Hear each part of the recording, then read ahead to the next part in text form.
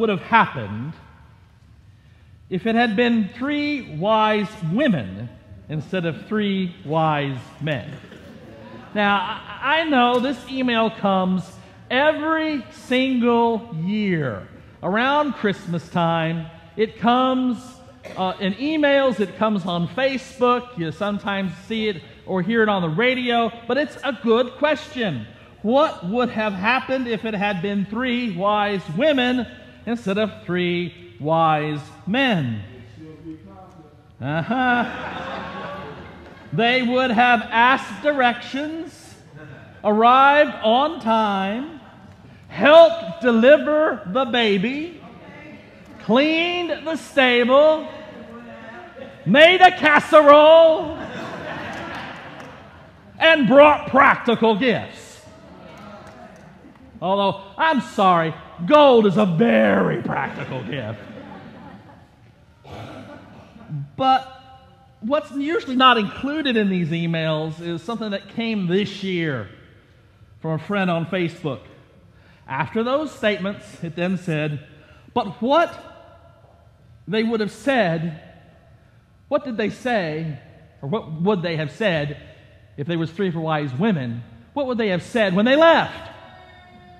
Did you see the sandals Mary was wearing under that gown? That baby doesn't look a bit like Joseph. Can you believe that they let all those animals into the house? I heard that Joseph isn't even working right now. Uh huh. Oh, the stories and the jokes, the imagery, the artistry, the music, the songs, the traditions about the wise men the wise guys, the magi, the three kings. There are lots of myths about them. First of all, you see them usually in pageants and plays at Christmas time, but they don't belong to Christmas. They belong to Epiphany today. So let's take a look at some of these myths to begin with. Contrary to what we see in artwork and movies and plays and pageants, and even in the hymn, We Three Kings, Nowhere in the Bible does it say that there were three of them. Huh? Yep. Nowhere in your Bible.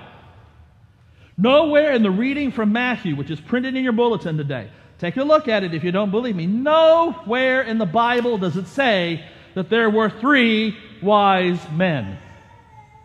It says that there were three gifts, not three wise men, not three kings, not three magi, three gifts. There could have been, now there had to be more than one, because it's plural, but there could have been two, or there could have been 20, or there could have been three, or anywhere in between or beyond.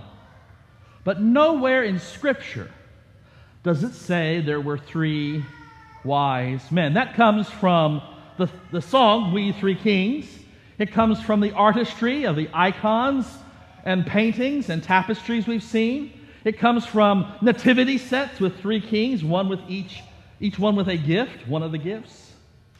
It comes from the pageants that we see. We always get one guy with the Burger King crown that has been spray painted gold, kind of like we had. Uh huh. Yeah. That comes from tradition that there were three kings, not Bible. It's not Bible that says there were three kings. It's not Bible that says there were three wise men. It's tradition. It's art. It's music. It's song. Not Bible, but there were three gifts. Secondly, are they kings, astrologers, wise guys, or what? Or are they all of the above? They were from Persia, which is modern day Iran which is east of Israel. And they were probably Zoroastrian priests, which means they were very well versed in astronomy and astrology and in the traditions and the religious lore of other nations, of other peoples. So they were aware of what the expectations about the Messiah were amongst the Jews. They were aware of the importance of the return and the establishment of the kingdom of David. They heard about all this stuff, and they saw in the sky portents that they said identified the birth of a king in Israel. And so they came to find out and to identify and worship this king. And in most works of art, in most plays, in most movies, and even in songs, they're usually depicted as going to the birth scene. And as I said just a minute ago, he doesn't belong to the birth scene. They don't belong to the birth event. They don't belong in the manger scene. Because it says not that they came at the time of birth when Jesus, Mary, and Joseph were out in that stable, out in that garage behind the Motel 6 there in Bethlehem, uh, in that cave, which is what it was, where they kept the animals and the, the, the, the uh, especially the donkeys of those who were transients in the community. No, it says that it came to them when they were they came to them when they were in a house. The three wise men came and visited Mary and Jesus when they were in a house. It's a different word in Greek. It can't possibly be the manger. So while we depict it with the shepherds and the sheep and the star and the angels singing glory to God in the highest and the little drummer boy and all that other stuff, no. The Bible does not depict it. The Bible does not depict them as coming to Jesus and Mary on the morning of his birth. But maybe months, possibly even a couple of years, as many as two years, based on the age at which uh, King Herod the Great demanded that the babies of Bethlehem be killed beneath. He could have been at least two years old.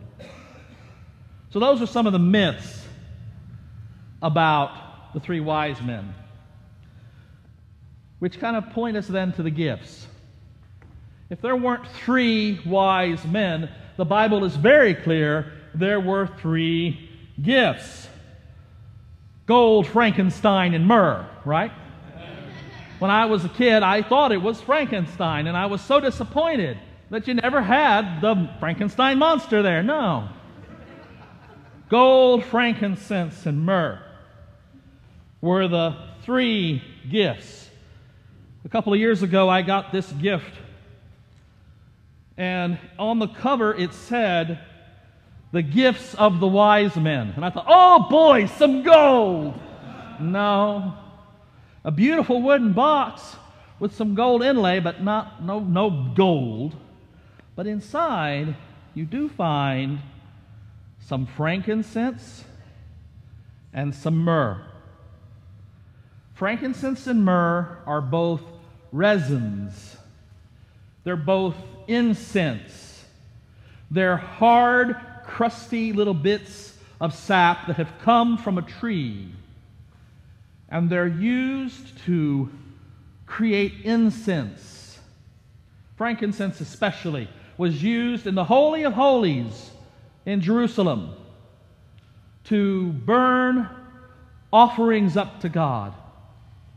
They would take the incense, they would pour it onto hot coals, and it would immediately flash and vaporize and generate this wafting smoke that would arise as a sweet smelling offering unto God. And it would symbolize the presence of the Almighty in the Holy of Holies, in the temple in Jerusalem. It would symbolize the presence of Almighty God and the prayers of the people as they wafted up to God.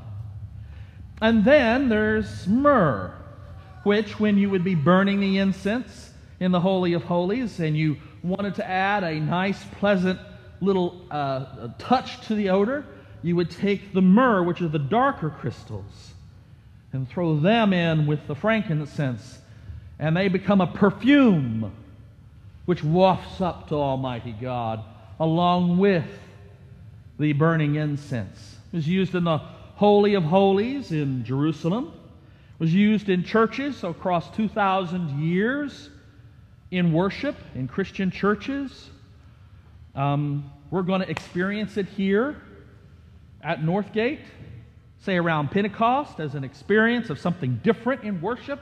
Now, you think, oh, smoke, it'll make me choke. No, incense doesn't frankincense doesn't make you choke, it breathes clear. It's more like smelling salts than anything else. It breathes clear. And when you add in the perfume of the myrrh, it adds a special zing to it. And in worship, in Christian worship, it is used to symbolize the presence of God and the power of the Holy Spirit and the prayers of the people as they rise to God.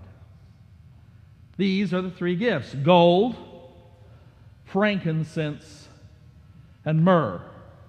Now, throughout the history of the church, there's been the question about these gifts. I mean, they're not very practical except for the gold, considering the trip that they were getting ready to make to Egypt. Other than that, they're not all that practical, are they? Unless you've smelled a baby when you're changing the diaper, I'm, that, that frankincense might be helpful. Kind of like potpourri. But, put it simply, they are not that practical of gifts. Instead, Matthew meant them a specific way. Matthew meant them to be symbolic. Matthew meant them to c- communicate an idea, to communicate a concept or a series of concepts about who this Jesus is, about what this Jesus does, about what Jesus does for us, and what we are supposed to do and be. And the church has taken its cue from Matthew in his using these three gifts and has talked about the nature of Jesus and about what we're called to do. So let's look at the three gifts. The first gift is gold. Gold. The gift of kings. Now, I've often wondered why would you give gold to a king? They already got all the gold. It ought to be a gift that the king gives to us. But gold is a property of royalty power, majesty. It speaks about the value and worth of that which has it. And in this sense, gold speaks about the divinity or power and kingship of Jesus. Jesus is the new David, establishing the new kingdom of David. Hence, Jesus is our king. In the gift of gold, we have proclaimed Jesus is our King. In the gift of frankincense, used in worship, used to symbolize the presence of God, used to symbolize the prayers of the people wafting up to God. In the frankincense, we have the proclamation in gold, He is our King. In frankincense, He is our God. In gold, he is our king. In frankincense, he is the presence of Almighty God. He is Emmanuel, God with us. He is Yeshua, Yahweh delivers, Yahweh saves. In the gold, he is king. He is preeminent, preeminent position in the world. In frankincense, he is God. And in myrrh, myrrh was used to bury the dead. Myrrh was used not just to enliven the frankincense in burning it in the temple, it was used also to prepare the dead for burial. So, in myrrh, we have the humanity of Jesus. Jesus was a man like you and me. Jesus was human like all of us. He, li- he was born, he lived, and he died. He stretched out his arms on the hardwood of the cross and died for us. So, gold, he is king. Frankincense, he is God. And myrrh, he is human. He is God, he is human, and he is our king. These three gifts speak about the nature of Jesus. They are Christological gifts, pointing to who Jesus is for us. King, he's our boss, he's our ruler, he's our Lord. Frankincense, he is our God, the presence of Almighty God with us, Emmanuel, Yeshua, and indeed sacrifice. And then myrrh, he is human. He lives among us, and He will die for us as our sacrifice and be buried. So the gifts foreshadow who He is, proclaim who He is, point out who He is God, King, and sacrifice. God, human, and king. Powerful imagery here. Now, the church hasn't stopped there. The church has also looked at these three gifts as not only telling us about Jesus, but also telling us about us, about what we as Christians are supposed to do. The first gift, gold, means not just that we're supposed to give our money to God, we're supposed to give the best that we have in our. When we join the church, when we become a member of the body of Christ, we commit ourselves to giving. Yes, of financial resources, but most especially of our prayers, our presence, our gifts, and our service. And those gifts are manifold. We we, we dedicate ourselves to being present in worship, to praying for the life of the church, for serving within the church the children of God in and beyond the church. We, we commit ourselves to witnessing to the gospel of Jesus Christ. And in doing so, we give our very best in doing it, our gold, the very best that we have in our. Your very best is your gold, not just money, your gifts, your graces, your talents the things that God has given you to give and share with others. Your gold, your very best. We're called to give it to God. Secondly, frankincense. The prayers of the people. We're called to gather in and worship together, not forsake the gathering together of the saints, and to worship Almighty God. We're called to lift our prayers to heaven, partake of the means of grace, hear the word proclaimed and then go forth and do the third gift. The first gift is giving our best, the second gift is praying and praising God. The third gift is then to do the works of God. Myrrh, that Jesus was human, we are human too. The sacrifice that Christ made, depicted in the myrrh, also the sacrifice we make, the reaching out and becoming the body of Christ for a broken and hurting world, becoming the hands and the feet and the eyes and the ears and the lips of Jesus. St. Teresa of Avila, one of the early doctors of the church universal, Teresa of Avila, wrote a beautiful prayer. A prayer that John Michael Talbot, back in the 1900s, turned into a wonderful song I won't sing it for you, but I'll read it for you today. Christ has no body but yours, no hands, no feet on earth but yours. Yours are the eyes with which he looks, compassion on this world. Yours are the feet with which he walks to do good. Yours are the hands with which he blesses all the world. Yours are the hands Yours are the feet. Yours are the eyes. You are his body. Christ has no body now on earth but yours. That's the myrrh. We are called to be the body of Christ, expressing the love of God to and for all. We are called to be the body of Christ, giving our very best our gold. Praising God in worship and prayer, our frankincense. And serving God by serving the children of God and being the hands and the feet of God and the eyes and the ears and the lips of God. The heart of Jesus Christ in this world, the body of Christ here and now, our myrrh. We're called to give our three gifts to God too. So, in these three gifts, we have an understanding of who Jesus is, King, God, and human, and indeed our sacrifice. And then in these three gifts, we have an understanding of what we are called to do and be.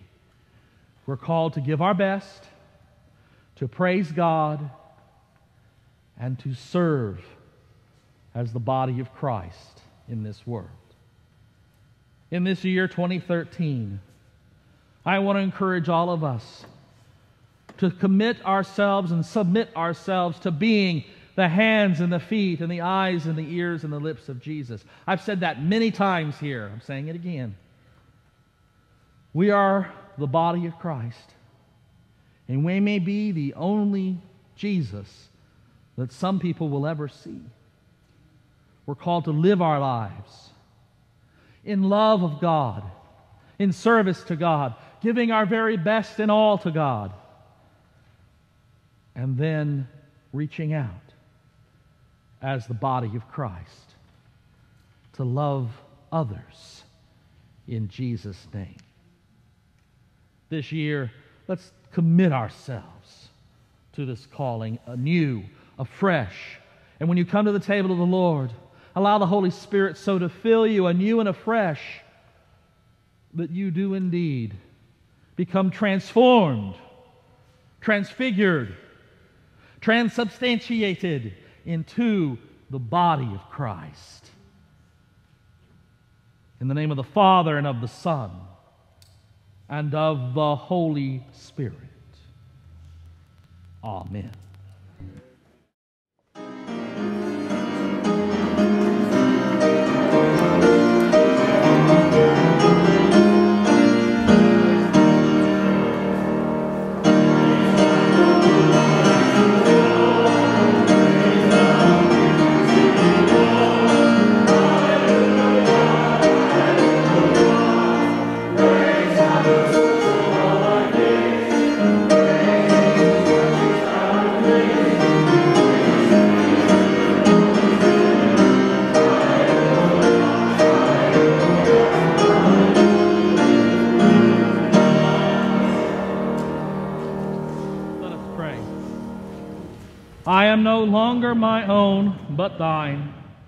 Put me to what thou wilt, rank me with whom thou wilt. Put me to doing, put me to suffering. Let me be employed by thee, or laid aside for thee, exalted for thee, or brought low by thee. Let me be full, let me be empty. Let me have all things, let me have nothing. I freely and heartily yield all things to thy pleasure and disposal. And now, O gracious and blessed God, Father, Son, and Holy Spirit, thou art mine, and I am thine. So be it. And the covenant which I have made on earth, let it be ratified in heaven. Amen. The Lord be with you. Lift up your hearts. Let us give thanks to the Lord our God.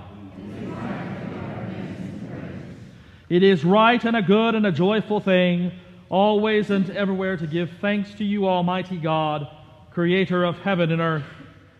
By your grace, you have called and empowered us to be the light of the world, a living expression of the gospel of Jesus Christ for this broken and hurting world. And so, with your people on earth and all the company of heaven, we praise your name and join their unending hymn.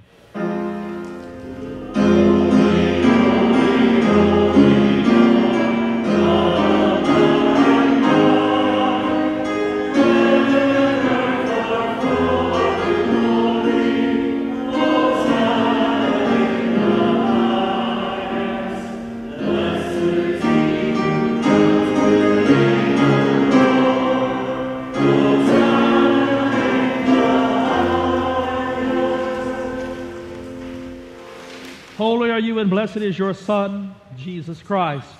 Your Spirit anointed him to preach good news to the poor, to proclaim release to the captives and the recovering of sight to the blind, to set at liberty those who are oppressed, and to announce that the time had come when he would save your people. He healed the sick, fed the hungry, ate with sinners, and exemplified the amazing love of God for all by stretching out his arms on the hardwood of the cross and dying for the sins of the whole world. Through his real presence, he delivers us from slavery to sin and death and empowers us for service as his hands and feet, eyes, ears, and lips, making us a holy city on a hill, shining the light of God's love to all. On the night in which he gave himself up for us, our Lord Jesus took bread, gave thanks to you, broke the bread, gave it to his disciples, and said, Take, eat. This is my body which is given for you. Do this in remembrance of me. Likewise, when the supper was over, he took the cup, gave thanks to you, gave the cup to his disciples, and said, Drink from this, all of you. This is my blood of the new covenant, poured out for you and for many for the forgiveness of sins. Do this as often as you drink it in remembrance of me. And so, in remembrance of these, your mighty acts in Jesus Christ, we offer ourselves in praise and thanksgiving as a holy and living sacrifice in union with Christ's offering for us as we proclaim the mystery of the faith.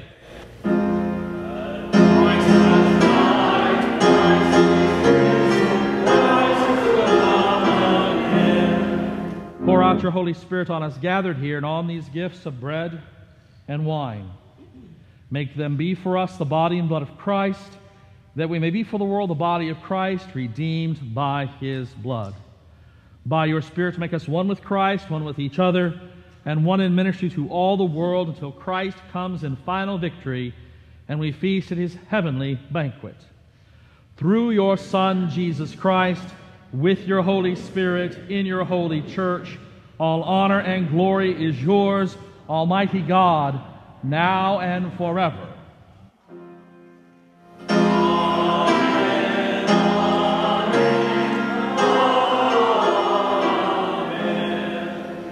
As our Savior Christ has taught us, let us pray.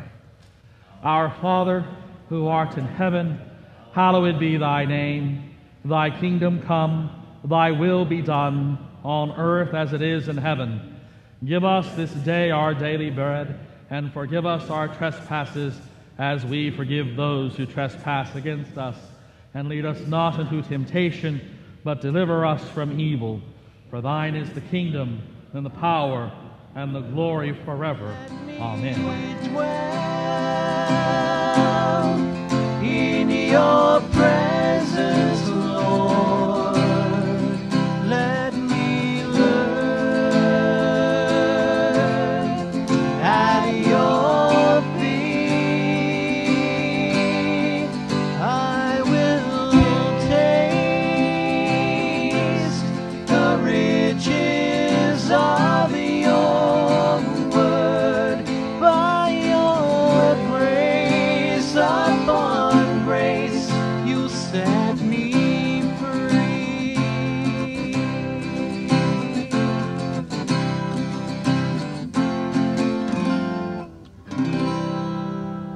Have been listening to a sermon by Dr. Gregory Neal, Senior Pastor of Northgate United Methodist Church and Rector of Grace Incarnate Ministries.